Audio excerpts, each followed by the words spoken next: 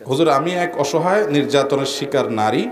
স্বামী ও শ্বশুর বাড়ির কাছে কাছে নির্যাতনের শিকার আর কি। আমার বিয়ে হয়েছে দুই বছর, এক বছর একটি ছোট মেয়ে আছে, স্বামী বিয়ের আগে থেকে কাপড়ের দোকানে চাকরি করত, তার পাশাপাশি অবৈধ ব্যবসা করত।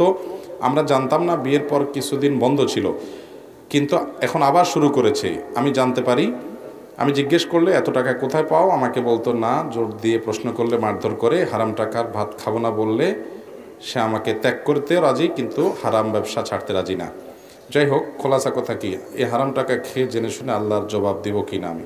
কি দিব আমি, নাকি ডিভোর্স দিলে কোনো হবে কিনা? খোলাসা কথা ভাই, বোঝা গেছে আমাদের এক বোনের আর্তনাদ এবং বেদনা।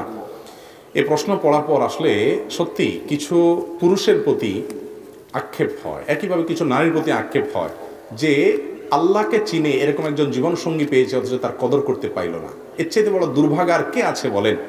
কত পুরুষ আছে যে একজন আল্লাহওয়ালা ভালো দিনদার জীবন সঙ্গিনী খোঁজে পায় না।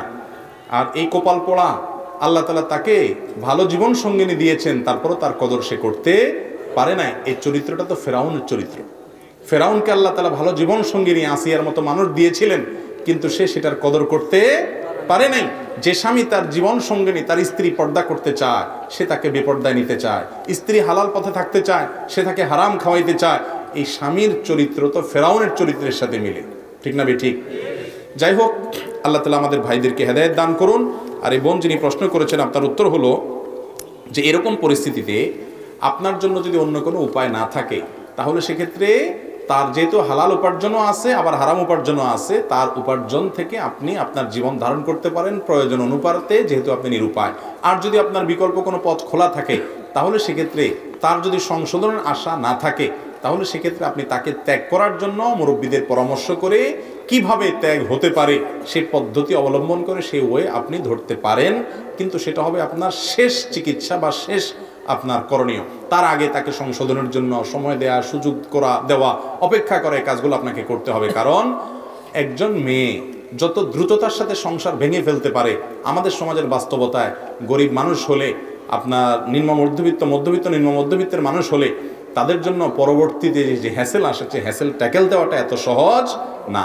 অনেক লোক উস্কানি দেয়, সংসার ছেড়ে দেওয়ার। আমি বলছি, হারাম থেকে আপনাকে অবশ্যই বেঁচে থাকার জন্য আপনার চেষ্টা করতে হবে। প্রয়োজনে নিজে বসে বসে হালাল উপার্জনের ব্যবস্থা করেন, সেটা দিয়ে খান।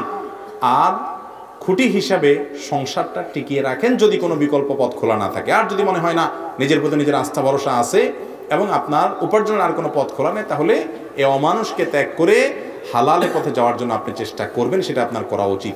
ইন্ডিভিজুয়াল কেস স্টাডি করে পুরো বিষয়টাকে দেখে পর্যবেক্ষণ করে তারপরে ব্যক্তিগতভাবে পরামর্শ দেওয়া যাবে।